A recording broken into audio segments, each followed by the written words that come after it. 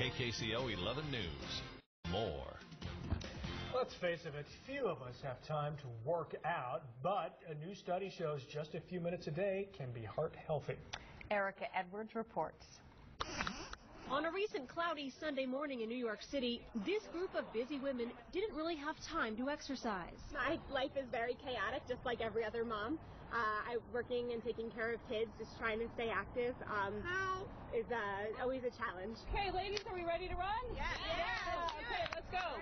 But they did it because it doesn't take much time at all to reap tremendous heart benefits according to new research. Our study showed that only fairly small doses of exercise, of running, were needed to produce these profound benefits. Dr. Carl Lavie and colleagues followed 55,000 adults for 15 years. They found runners on average lived three years longer than others. Just five minutes of running a day reduced the risk of dying from heart disease.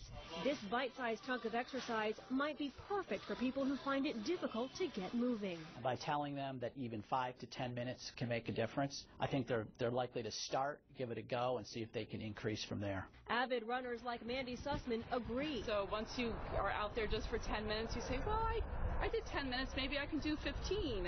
No fancy equipment required, just a pair of shoes and five minutes of hitting the pavement to get your heart pumping. Erica Edwards, NBC News. Just five minutes, there's no excuse there. The American Heart Association recommends 75 minutes a week of aerobic activity. The Centers for Disease Control and Prevention is now weighing in on the